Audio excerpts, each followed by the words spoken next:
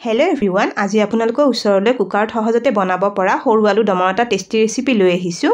আৰু লগতে আপোনালোক সকলোকে আকৌ এবাৰ আদৰণি জনাইছোঁ আছামিজ কিটচেন চেনেললৈ এইটো সময়ত বজাৰত নতুন আলু পোৱা যায় আৰু নতুন সৰু আলুৰে বনোৱা আলুদমৰ এই ৰেচিপিটো খাবলৈ খুবেই সোৱাদ লগা হয়। আপোনালোকে এই আলু দমখন কুকাৰত কম সময়ৰ ভিতৰতে সহজতে বনাব পাৰিব আৰু আপোনালোকে সৰু আলুৰ ঠাইত ডাঙৰ আলুৰেও আলুদমৰ এই ৰেচিপিটো বনাব পাৰে। আশা কৰোঁ আপোনালোকে আজিৰ এই ৰেচিপিটো ভাল পাব। আলুদম বনাবলৈ মই ব্যৱহাৰ কৰা ইনগ্ৰিডিয়েণ্টছখিনি আপোনালোকে স্ক্ৰীণত দেখিবলৈ পাইছে। এয়া মই সৰু আলু প্ৰায় আধা কেজিমান লৈছোঁ। এই আলুখিনি ভালদৰে ধুই চাফা কৰি লৈছিলোঁ।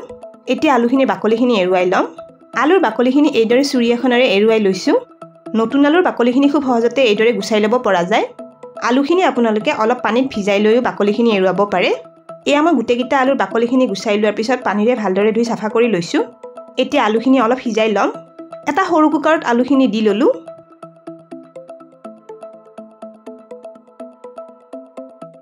এতিয়া আলুখিনি ডুব যোৱাকৈ অলপ পানী দি ল'ম। ইয়াতে আধা চামুচমান নিমখ দি ল'লোঁ। এতিয়া গেছৰ মিডিয়াম ফ্লেমত দুটা হুইচেল অহালৈ আলুখিনি সিজিব দিম। মিডিয়াম ফ্লেমত দুটা হুইচেল অহাৰ পাঁচ মিনিটমান পিছত কুকাৰৰ ভাপটো নিজে নিজে ওলাই গৈছে। ঢাকনিখন খুলি ল'লোঁ। এয়া ফৰ্ক এখনেৰে আলু এটা চাই লৈছোঁ। দেখিছেনে আলুখিনি ধুনীয়াকৈ সিজি গৈছে কিন্তু আলুখিনি খুব বেছিকৈ সিজি যোৱা নাই।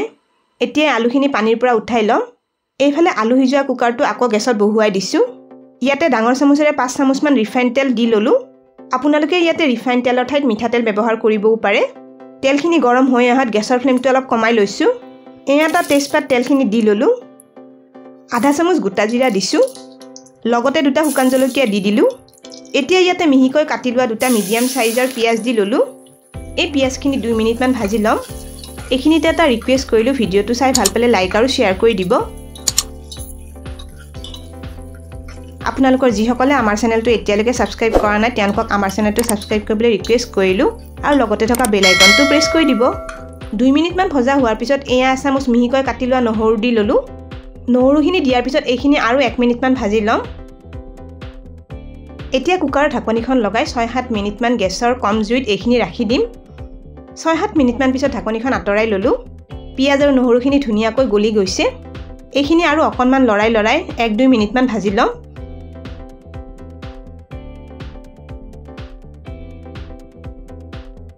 পিঁয়াজখিনি দেখিছেনে? ধুনীয়া ৰঙচুৱা হৈ আহিছে। এয়া এটা মিহিকৈ কাটি লোৱা সৰু বিলাহী দি ল'লোঁ। নিমখ অলপ সোৱাদ অনুসৰি দি লৈছোঁ। এতিয়া বিলাহীখিনি এক মিনিটমান ভাজি ল'ম।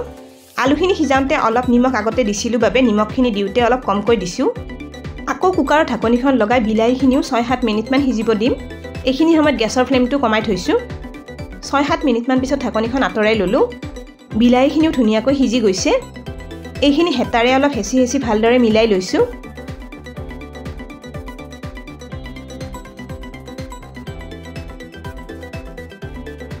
গোটেইখিনি ভালদৰে ভাজি লোৱাৰ পিছত এয়া আধা চামুচ হালধি দিলোঁ জিৰা গুড়ি আধা চামুচ দিছোঁ আধা চামুচ ধনিয়া গুড়ি দিছোঁ আৰু এয়া আধা চামুচ কাশ্মীৰী জলকীয়া গুড়ি দি ল'লোঁ।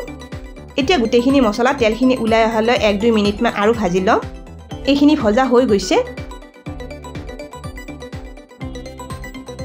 এতিয়া ইয়াতে আধা চামুচ আদাৰ পেষ্ট দি ল'লোঁ লগতে দুটা কেঁচা জলকীয়া দিছোঁ। এইখিনি এক মিনিটমান মিক্স কৰি ল'ম। এইখিনি খুব বেছিকৈ ভাজি থাকিব নালাগে।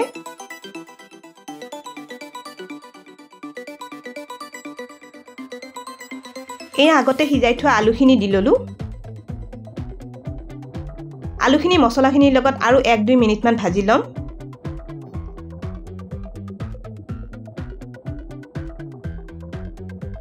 অকণমান চেনি বিলাহীখিনিত সোৱাদ অনুসৰি দি লৈছোঁ।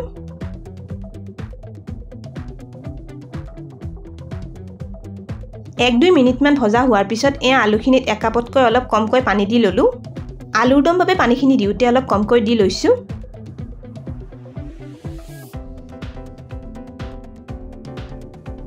এতিয়া কুকাৰৰ ঢাকনিখন লগাই গেছৰ হাই ফ্লেমত দুটা হুইচেল আহিব দিম।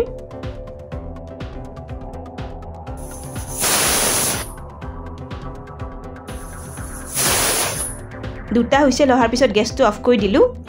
এইফালে আলুৰ দমত দিবলৈ অলপ গৰম মছলা গুড়ি কৰি ল'ম। দুটা ইলাচি খুন্দনা এটাত দি ল'লোঁ। এডোখৰ ডালচেনি দিছোঁ। আৰু লগতে দুটা লং দি ল'লোঁ। গৰম মছলাখিনি অলপ মিহিকৈ গুড়ি কৰি ল'ম। আপোনালোকে আলুৰ দমখনত পেকেটৰ গৰম মছলাও দিব পাৰে।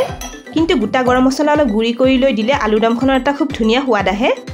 মছলাখিনি মই গুড়ি কৰি ল'লোঁ। এয়া আধা চামুচমান গৰম মছলা হৈছে। এইফালে কুকাৰৰ ভাপটো নিজে নিজে ওলাই যোৱাৰ পিছত ঢাকনিখন খুলি লৈছোঁ। গেছটো আকৌ অন কৰি দিলোঁ।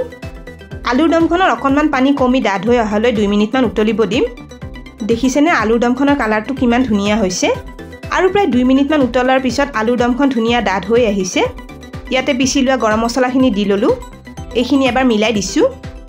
আলুৰ দমখনত পানী বেছিকৈ থাকিলে খাবলৈ ভাল নালাগে। সেইবাবে মই আলুৰ দমখন এনেকৈ অলপ ডাঠকৈ বনাওঁ। এয়া আলুৰ দমখন বনোৱা হৈ গৈছে। গেছটো অফ কৰি দিলোঁ। এই আলুৰ দমখন লুচি পুৰি পোলাও ভাত সকলোৰে লগত খাবলৈ খুবেই সোৱাদ লাগে। তেনেহ'লে আপোনালোকেও খুব কম সময়ৰ ভিতৰতে এইদৰে কুকাৰত আলুৰ দম বনাব পাৰে আৰু ৰেচিপিটো কেনে পালে কমেণ্ট কৰি জনাব। ভিডিঅ'টো শেষলৈকে চোৱাৰ বাবে অশেষ ধন্যবাদ জনালোঁ আৰু ভিডিঅ'টো ভাল পালে লাইক আৰু শ্বেয়াৰ কৰি দিব। স্ক্ৰীণত দেখা পোৱা ৰেচিপিকেইটা চাবলৈ মই ৰিকমেণ্ড কৰিলোঁ। ভিডিঅ'কেইটা চাবলৈ ৰেচিপিটোৰ ফটোখনৰ ওপৰত ক্লিক কৰিলেই হ'ল। তেনেহ'লে আজিলৈ আহিছোঁ। আকৌ লগ পাম আৰু এটা নতুন ৰেচিপিৰ সৈতে।